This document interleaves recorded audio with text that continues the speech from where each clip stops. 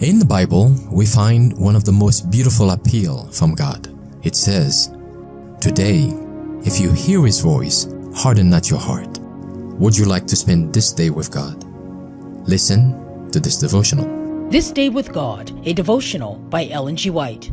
A great work to be done. For if the trumpet give an uncertain sound, who shall prepare himself to the battle? So likewise ye, except ye utter by the tongue words easy to be understood, how shall it be known what is spoken? For ye shall speak into the air. 1 Corinthians 14 verses 8 and 9. There are many who have been waiting to hear the certain sound of the message that would meet the emergency.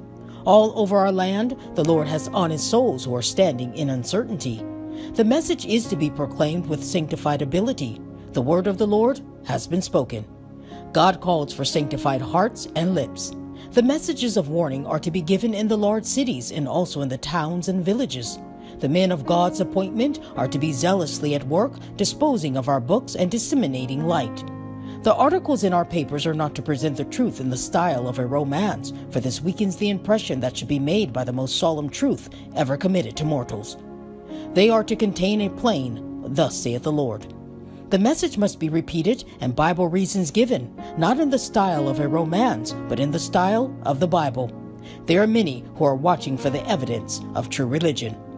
The Lord declares, The message is to go forth in words of solemn warning. Nothing that will hinder the clear presentation of the message is to be introduced into your plans. Repeat the message. The wickedness in the cities is increasing. The adversary has great influence over men because my people do not open their hearts to realize their responsibility. Tell my people to take up their work and proclaim the message.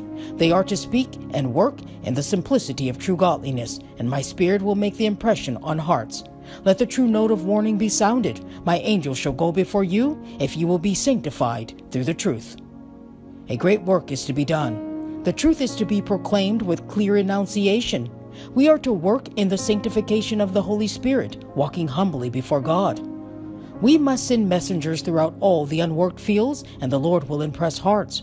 The first and second angels' message went with the power of the Spirit, and those who in their proclamation walked and worked in humility were greatly blessed. Let us all wake up and with great energy take hold of the work to be done.